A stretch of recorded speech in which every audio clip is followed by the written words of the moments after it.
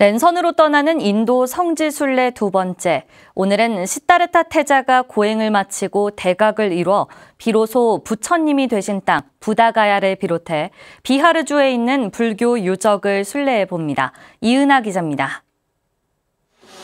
구도의 길에 나선 싯다르타 태자가 6년 고행을 끝내고 선정에 들어 비로소 깨달음을 얻어 부처님이 된 성지 부다가야. 마하보디 대탑은 인도 전역을 통일하며 수많은 희생을 낳은 아쇼카 왕이 참회의 마음으로 세운 8만 4천 개 탑 가운데 하나입니다. 부처님이 깨달음을 얻은 금강자 위에 세워진 마하보디 대탑은 인도를 침략한 이슬람에 의해 파괴될 위기를 막기도 했지만 흙과 벽으로 대탑을 가린 병사들의 지혜로 현재의 모습을 유지할 수 있게 됐습니다. 세계문화유산에 등재된 마하보디 대탑은 52m 9층 높이로 반경 3km 어디에서도 그 모습을 볼 수 있습니다. 마하보디 대탑 옆으로는 부처님이 정각을 이룬 보리수와 깨달음을 얻은 후 부처님이 내디딘 첫걸음을 새긴 불족석이 늘어서 있습니다. 부처님이 인류를 구할 위대한 깨달음을 얻은 성지를 참배하는 마음은 더욱 특별합니다. 늘 올 때마다 벅차고 또 이렇게 탑이 온전하게 보존되어 있다는 것도 굉장히 감동스럽고요. 부다가야에서 자동차로 2시간여 거리의 라즈기르. 왕사성은 부처님이 살던 시대 강국이던 마가다의 수도로 부처님이 중생제도에 나선 중심지입니다. 마가다국의 강력한 실권자로 불교를 외호하고 발전시킨 한 나라의 왕이었지만 아들에 의해 감옥에서 여생을 보낸 비운의 인물 빈비사라 왕의 감옥터로 먼저 향했습니다. 순례 특별 가이드 총무원장 원행 스님의 상세한 안내도 함께 시작됩니다.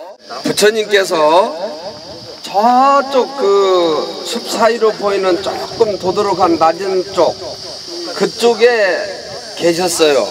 그래서 빈비사라 대왕이 걸어서 부처님 법을 이제 청법을 했는데 거기에서 부처님께서 법화경을 부처님이 법화경을 설한 여마 미소의 현장 영축산을 바라보며 한글 반야신경을 봉독하고 불교 최초의 사찰 중림정사로 향합니다.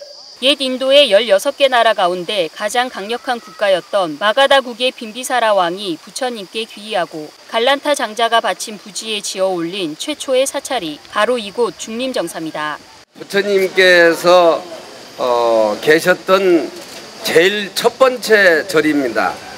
에, 이 중림정사는 갈란타라고 하는 장자가 이 연못 에, 이 인도 땅에서 이 물이 샘솟는 연못은 황금 땅입니다.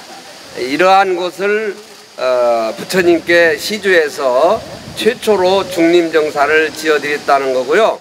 마지막 순례지는 라즈기르에서 10여 킬로미터 떨어진 세계 최초 최대의 불교 대학 나란다 대학입니다. 500년경 지어진 나란다 대학은 불교 외에도 철학과 수학, 과학 등을 가르쳤던 종합대학으로 7세기 나란다 대학을 순례했던 현장 법사는 2천여 명의 교수진과 만여 명의 학생이 있었다고 기록해 당시 규모를 짐작할 수 있습니다.